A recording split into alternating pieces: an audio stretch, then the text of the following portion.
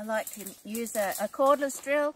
Um, they're really easy and portable to use and um, my favourite is an auger bit, an auger drill bit so it has a little screw on the end and that allows you to start the hole in a downward direction so you can make a, a nice hole to fill with your injector.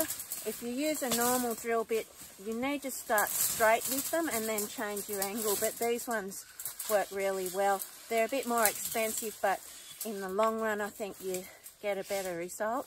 Um, a, a 10 mil is the size that I prefer. Um, anything bigger is a bit too much um, drag on your battery, so you'll use your batteries faster. And if it's smaller than this, um, they tend to be a little bit more fragile and they, I've tried them and they break really easily um, in the course of the day. So uh, 10 mil auger bit, excellent.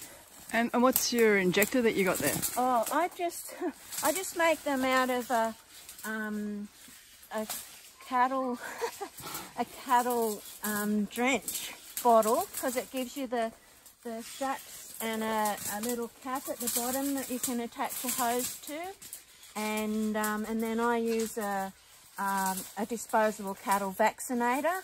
Um, you can buy a proper tree injector that they'll cost you uh, around $160 as I, I think this is a great way to recycle materials and um, get an injector pretty cheaply. But you, you need to be able to be resourceful and work out how it goes together. It, it doesn't come ready to go. You've got to sort of build it yourself. So if you don't want to do that, then spend the money and get a ready-made one and, um, and you'll be laughing. It'll be good.